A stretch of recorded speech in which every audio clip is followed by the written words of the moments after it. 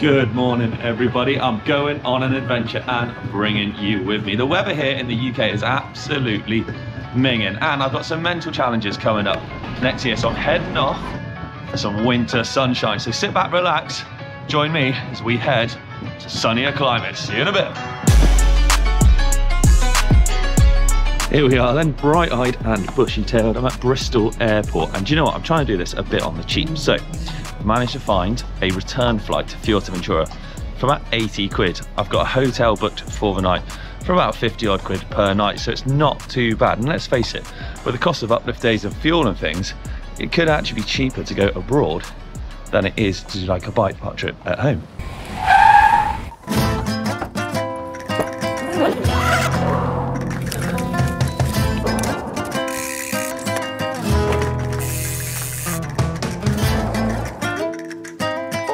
Right, so there is an ulterior motive because we finally made it in a beautiful Fuerteventura. And that is that the winter time in the UK is doom and gloom, and I spend a lot of my time just cleaning my bike rather than worrying about riding it in training. So I thought, what better place to come and bash out some big rides and some sunny miles and really make the most of the bike time than here. It is stunning. Plus, I get to use this, my new Garmin Edge 1040 Solar, because look, let's face it, with all this sunshine, I can just head out for a ride for a big old day and not have to worry about that at all. Plus, it can help me keep track of all my data and my training stats so I know I'm heading in the right direction. Fuerteventura is one of eight main islands that make up the Canary Islands. Nestled in the Atlantic Ocean around 60 miles off the north coast of Africa, the island is home to some amazing mountain biking, ranging from wide open gravel roads to technical single track, whilst always taking in stunning scenery. And with the coast never that far away, this is truly a great spot for some sunny winter miles.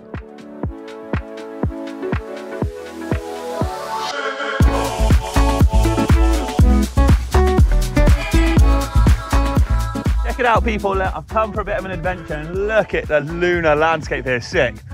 So basically, because I want to make the most of my time here, I've snuck out for about an hour, hour and a half to like, get the legs spinning before doing a real big ride tomorrow. See how I feel, see how the legs are performing and stuff, and I'm loving it. Let's see kind of what we can get involved in today. Sure, there'll be a few mishaps, dramas along the way. Unos momentos después. Hey, hey, hey, hey, calm down, calm down. Ah, ah, ah, ah. It's okay, it's okay. It's okay. Hey, hey, hey. It's all right, it's all right. Hey, ah, ah, ah, ah. Hey, come here, come here, come here. It's okay. Put your head back. Back, back, back, back. There you go. There you go, buddy. You're welcome.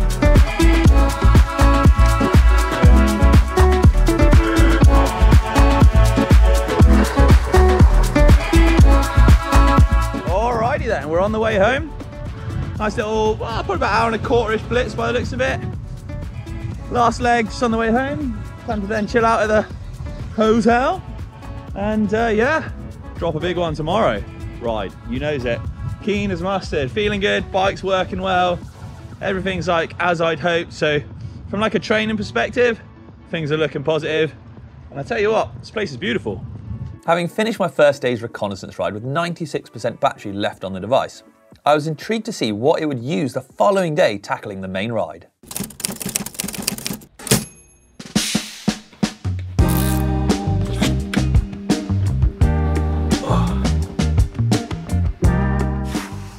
Right, today's the main day then. I've planned about a 65 kilometre route on Komoot there, taking in a good mixture of single track, it's got some solid climbing and some fire road bashing in it as well. We're going to be starting from where our hotel is in Corralejo in the north of the island, then head southwest towards the coast, taking in the Bayuyo volcano and Calderon Hondo volcano, something I was very excited about. After that, it was heading down south towards the Montaña de Tindaya, or the Sacred Mountain, then east where I'd climb to the top of the Malpaís de la Arena, where one of the last volcanic eruptions on the island took place. Then back, heading up north towards Corralejo, where we started from. So with that then, I'm good to go. The Oiz TR, well, she's primed and ready after yesterday's little test ride, so let's get going.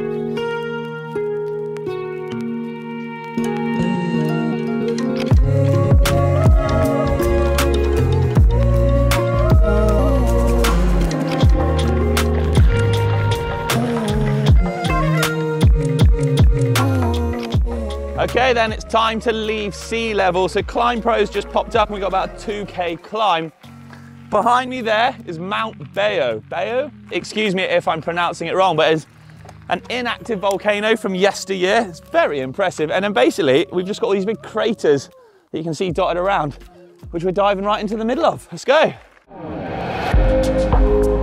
Oh, wow. Check this out. Oh. The Calderon Hondo.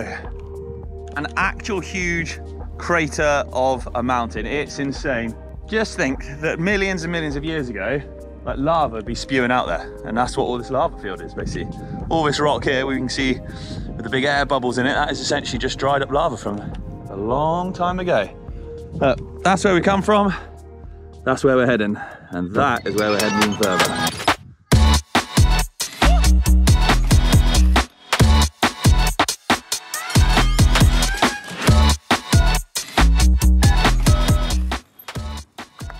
Camel parking, perfect.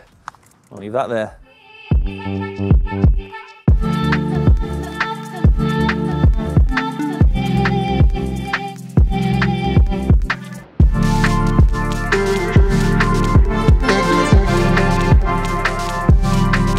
Right, we've hit a full-on sand bog here.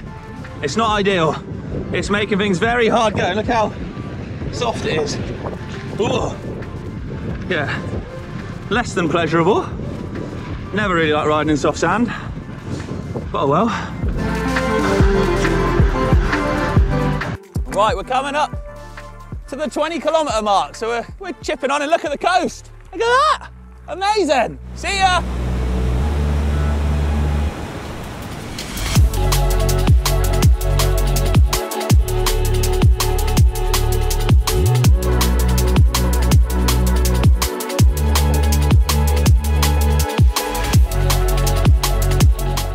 What do you think, Joey?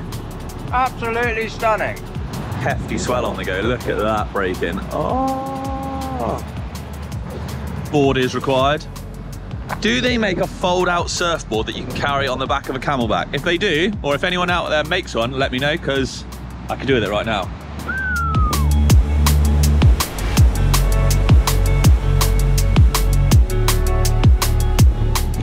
I'll be honest, I was a bit dubious about coming to Fuerteventura because it's into the unknown. I did quite a bit of research and saw that it had some good riding. It looks obviously very pretty and volcanic.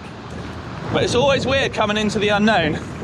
And then you see stuff like that and you're like, whoa, good choice made.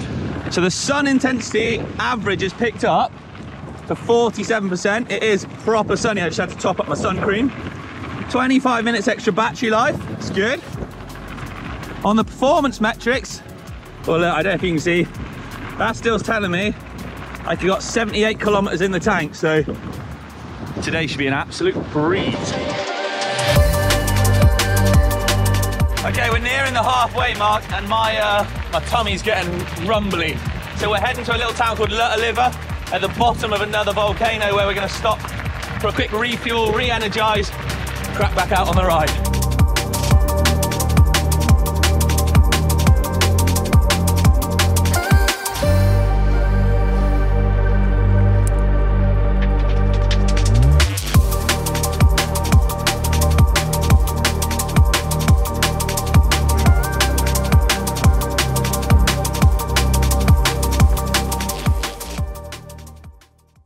That there, people, is the Montaña de la Arena. It is huge. We are skirting around the side of it right now. After having a delightful piece of lunch, it was delicious. Hit the spot, enjoyed the sunshine a bit. So we are fully on the home stretch now then. We are way past the halfway point. And look at that. I don't know if you can see. Oh my giddy aunt. All the solar power there. Hour 15 of extra battery time added to that device. Belter. Let's check in on my stats. So I reckon I've still got 50k in the tank, stamina and potential both at 47%. So it's kind of showing about right. You know, I'm feeling good. I'm feeling pretty strong and confident.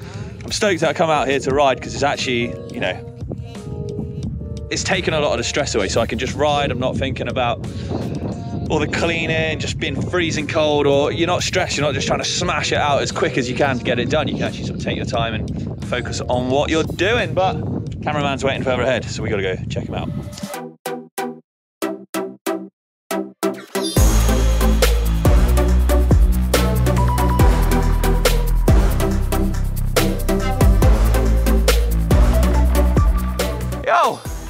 Thought I'd give you a quick geography uh, sesh.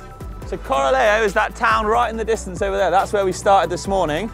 We weave through these three in front of us here, along through to the coast where we went up the coastline a little bit, around some big hills over the back there, then we cut inland, and now we're on sort of the final quarter, if you like, of the ride. So we're weaving around that Montaña de la Arena, where we'll head a little further along the ridge, hang a left, back to Corralejo.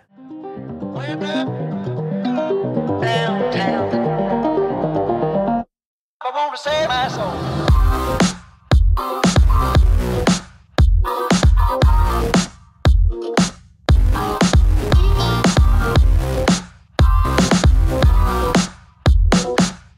It was all going so smoothly until just then. Watch this. I'm not sure.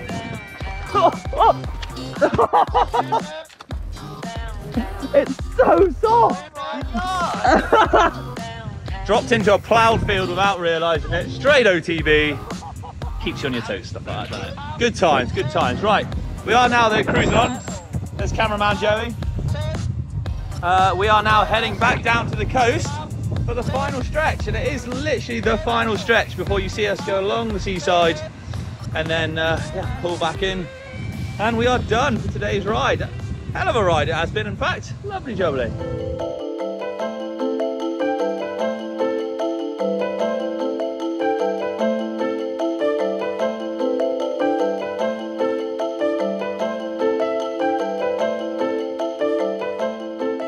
How's it going, everybody? Right, even the best laid plans don't quite go to plan. So, uh, the route I'd planned finished up, or part of it finished up going through the most powdery sand, oh, in the world. So it's actually, we're cutting cross country, quite literally. It's quicker for us to walk over to another path inland slightly, away from like the powder sand. Cameraman Joey's loving it, look. Yeah, that's living the dream right there. So, yeah, quite interesting. Bit of drama to end on. Job's a good one. You alright, bud? No. He's loving it. It's a Rich Payne training ride. What more does he want? I thought we'd got lucky so far on the ride in terms of mechanicals, but I've just snagged the sidewall, but I reckon the sealant is holding her up. So I think we're gonna top it up. We're literally so close. I mean, look, that's the finish over there. We were so close. I reckon a bit of a top up, we can get away with it. Not holding. I thought it was gonna hold, listen. I reckon we're gonna have to plug her up.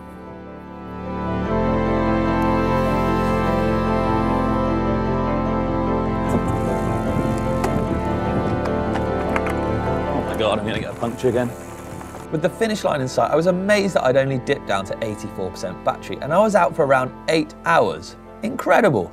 Bring on the really big rides.